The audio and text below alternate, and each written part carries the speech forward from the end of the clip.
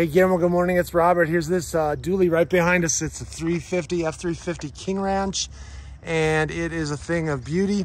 So this is black with kind of this uh, sandstone look on the bottom. So with the King Ranch, you get these these King Ranch wheels.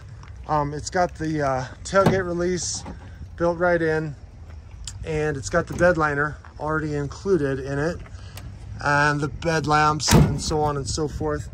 You get King Ranch badging here, big, huge trailer uh, setup right here. All right, it's got, um, F, it's the FX4 and it's got uh, remote start.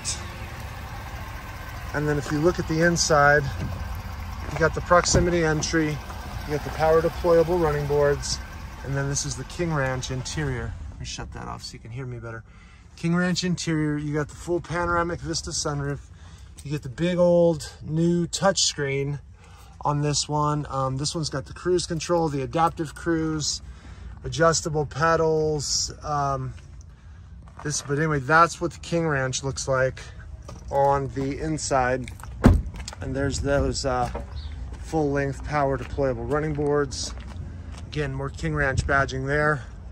So it's a beautiful thing. It's all poised and ready to go. Well, it's not quite ready. We got to wash it. So it needs a bath, but we are getting that done for you. So I will send this over to you right away. Give me a call. Um, actually, I'm going to call you here in a little bit.